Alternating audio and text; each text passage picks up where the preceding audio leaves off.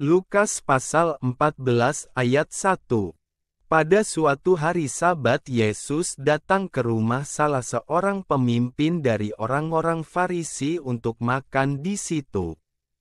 Semua yang hadir mengamat-amati dia dengan saksama. Lukas pasal 14 ayat 2 Tiba-tiba datanglah seorang yang sakit busung air berdiri di hadapannya. Lukas pasal 14 ayat 3. Lalu Yesus berkata kepada ahli-ahli Taurat dan orang-orang Farisi itu, katanya, diperbolehkankah menyembuhkan orang pada hari sabat atau tidak? Lukas pasal 14 ayat 4. Mereka itu diam semuanya. Lalu ia memegang tangan orang sakit itu dan menyembuhkannya dan menyuruhnya pergi. Lukas pasal 14 ayat 5.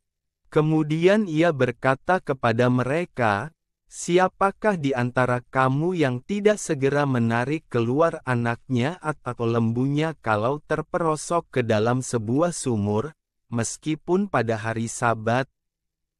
Lukas pasal 14 ayat 6. Mereka tidak sanggup membantahnya. Lukas pasal 14 ayat 7. Karena Yesus melihat bahwa tamu-tamu berusaha menduduki tempat-tempat kehormatan, ia mengatakan perumpamaan ini kepada mereka. Lukas pasal 14 ayat 8 Kalau seorang mengundang engkau ke pesta perkawinan, janganlah duduk di tempat kehormatan, sebab mungkin orang itu telah mengundang seorang yang lebih terhormat daripadamu. Lukas pasal 14 ayat 9, supaya orang itu, yang mengundang engkau dan dia, jangan datang dan berkata kepadamu, berilah tempat ini kepada orang itu. Lalu engkau dengan malu harus pergi duduk di tempat yang paling rendah. Lukas pasal 14 ayat 10 Tetapi, apabila engkau diundang, pergilah duduk di tempat yang paling rendah. Mungkin tuan rumah akan datang dan berkata kepadamu, sahabat, silakan duduk di depan.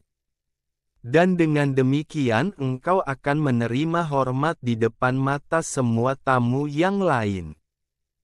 Lukas pasal 14 ayat 11 Sebab barang siapa meninggikan diri, ia akan direndahkan dan barang siapa merendahkan diri, ia akan ditinggikan.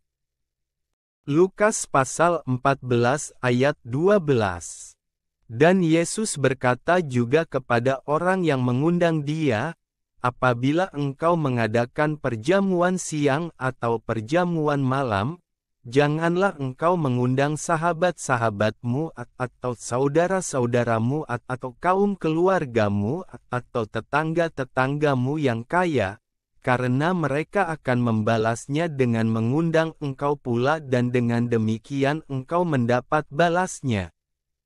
Lukas pasal 14 ayat 13 Tetapi apabila engkau mengadakan perjamuan, Undanglah orang-orang miskin, orang-orang cacat, orang-orang lumpuh dan orang-orang buta.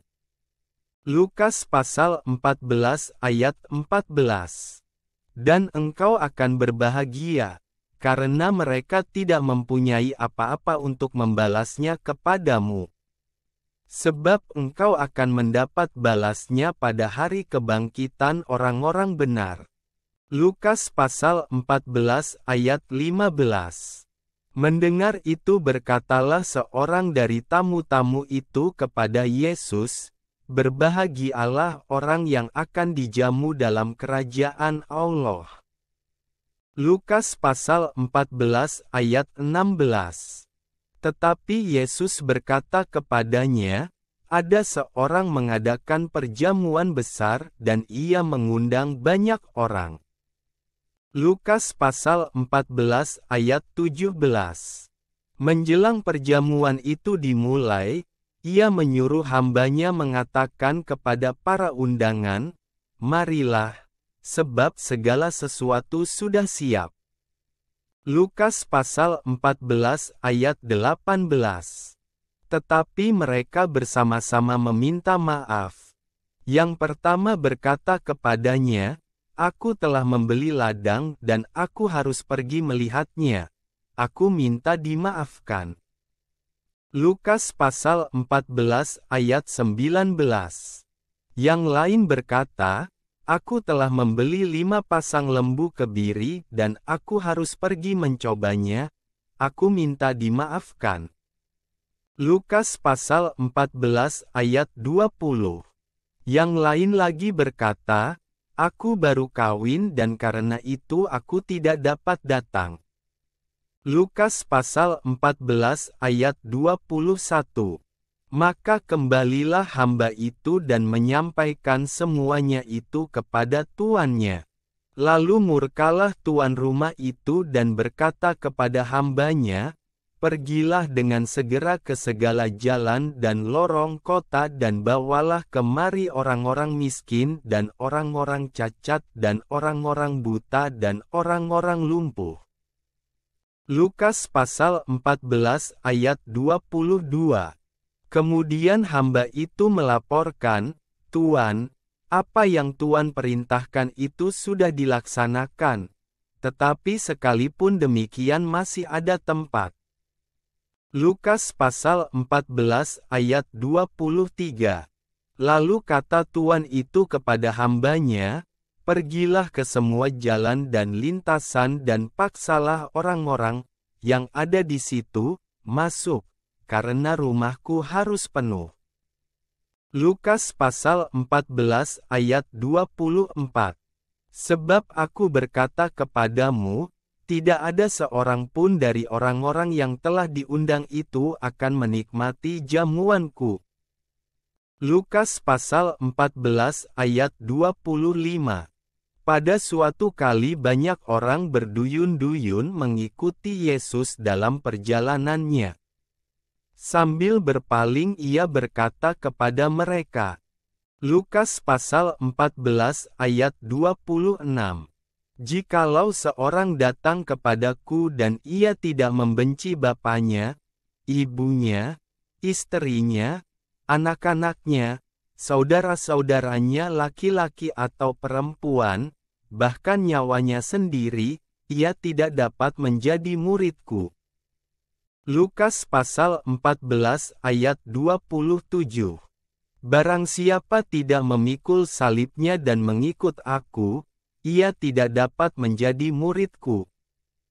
Lukas pasal 14 ayat 28 Sebab siapakah di antara kamu yang kalau mau mendirikan sebuah menara tidak duduk dahulu membuat anggaran biayanya, kalau-kalau cukup uangnya untuk menyelesaikan pekerjaan itu.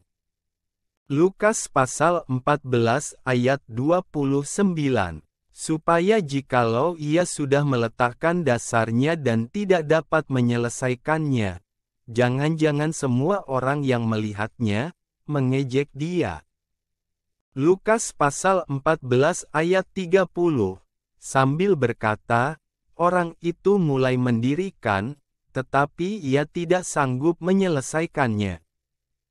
Lukas pasal 14 ayat 31 Atau, Raja manakah yang kalau mau pergi berperang melawan raja lain tidak duduk dahulu untuk mempertimbangkan, apakah dengan sepuluh ribu orang ia sanggup menghadapi lawan yang mendatanginya dengan dua puluh ribu orang? Lukas pasal 14 ayat 32. Jikalau tidak, ia akan mengirim utusan selama musuh itu masih jauh untuk menanyakan syarat-syarat perdamaian. Lukas pasal 14 ayat 33. Demikian pula lah tiap-tiap orang di antara kamu, yang tidak melepaskan dirinya dari segala miliknya, tidak dapat menjadi muridku. Lukas pasal 14 ayat 34 Garam memang baik, tetapi jika garam juga menjadi tawar, dengan apakah ia diasinkan? Lukas pasal 14 ayat 35. Tidak ada lagi gunanya baik untuk ladang maupun untuk pupuk, dan orang membuangnya saja. Siapa mempunyai telinga untuk mendengar,